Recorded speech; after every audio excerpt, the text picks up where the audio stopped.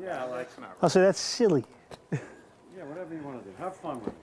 I got some questions for Jimmy here. We're going to start with the first one. What is your coffee order? Pretty basic. I think I just go medium hot coffee during the season. Uh, usually at Starbucks, I had one pump of uh, hazelnut and, and one sugar, a little bit of cream. All right, I got a couple for Tony here. Any places you plan on visiting in the off season besides the Jersey Shore? Uh, I plan on visiting Vegas in the off season. Who's the biggest instigator on the team? We get a lot of uh, pranksters, I think, a lot of instigators, but I'd put you up there. I'd say uh, you and you and Stromer. Stromer. You guys like to get a, uh, a stir out of the boys. I got a question here, but I'm going to add on to it. All right. Says, give me your best Coach Quinn impression. No.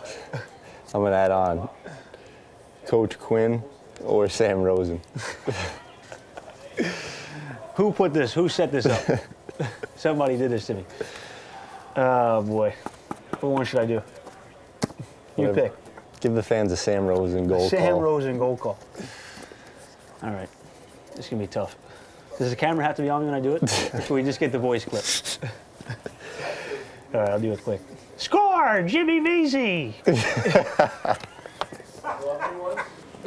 There's my Sam impersonation.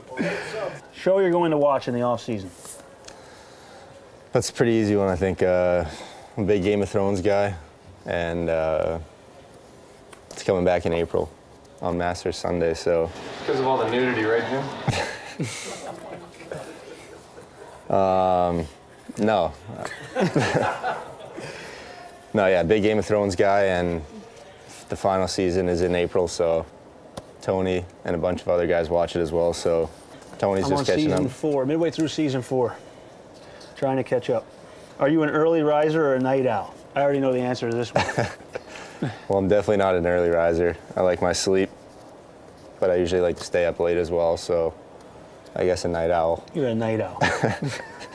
Where do you think you've improved the most? I think I've been played in, in more situations. Uh, defensively, I've been on the penalty kill, and my plus minus has, has been better uh, until the last couple weeks, I guess. But uh, I think all around, uh, I've been used in more situations. So I think that's part of me maturing and being in my third year now. Where do you think you've improved the most? Uh, probably just playing a more consistent game.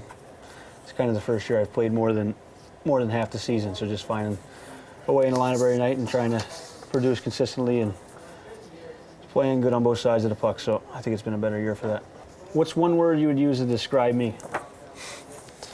Uh, to describe Tony, I think um, anyone that knows him, I guess would be funny. I think everyone would say that uh, there's definitely some dog days of the year, and I think this is a high compliment I give Tony, but he usually makes my days easier coming to the rink and definitely gets a smile out of me, so funny. It's a good answer. What's one word you would use to describe me?